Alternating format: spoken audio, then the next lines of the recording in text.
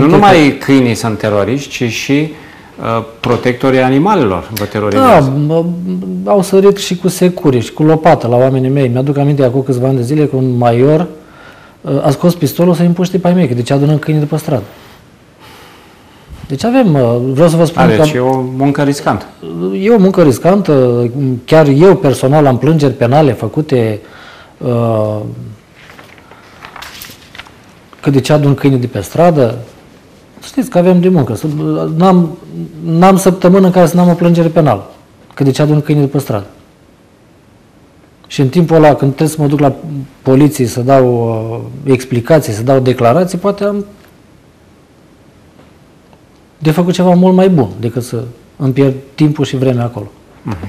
Aici avem uh, imagini din parcul primăriei. Sau să spunem, haide, în fața universității și în uh, lateralul primăriei. Instituții model, nu? Avem și avem câțiva angajați în cadrul primăriei, iubitori. Sau ar fi bibelouri. Ați, uh, aici ați acționat? Oamenii dumneavoastră fac rondul? Acționăm și aici, dar tot pe furiș. deci programul municipal se face pe furiș. Da, sunt unele zone în care, într-adevăr, le facem pe furiș, sunt alte zone în care le facem pe, cum se spune, pe față. Uh, persoane care au fost atacate, persoane care au fost mușcate, îi rugăm să ne lase un număr de telefon, îi rugăm uh, în momentul când începem acțiunea de capturare, uh, îi solicităm și pe ei să recunoască câinile care au mușcat sau ceva la modul ăsta, pentru că uh, câinile care au mușcat trebuie să-l ținem sub observație. În caz că se întâmplă ceva, să știm ce avem de făcut mai departe.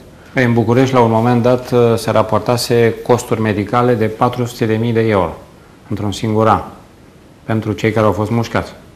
Sunt, pentru că... La un milion de câini, tot așa, recenzați prin 2009. Uh, Odată trebuie întreținută rana, trebuie medicamentația necesară, după aceea, dacă nu se știe dacă câinile cumva nu-i bolnav de rabie și atunci uh, și tratamentul de rabie este destul de costisitor și în felul acesta se ridică într-adevăr cheltuielile, așa cum ați spus dumneavoastră. Din curtea spitalului uh,